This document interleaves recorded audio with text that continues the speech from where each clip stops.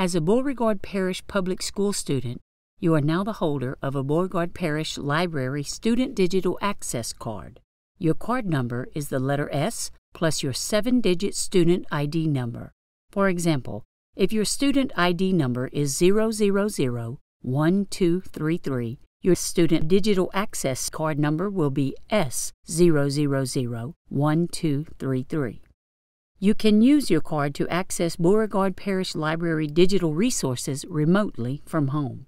To access our digital resources using your new card, you can either select from one of the links directly below this video, or you can go to library.beau.org, click on the eLibrary tab, then click on Student Resources.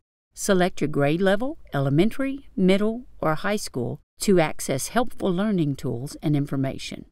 Some of these resources even have apps you can download. Once you find a resource you'd like to explore, Simply click or tap on the link to access it. Some resources require a card number or username to sign in. You will see a prompt like this requesting a username. This is where you will enter your student digital access card number and, if asked, a password.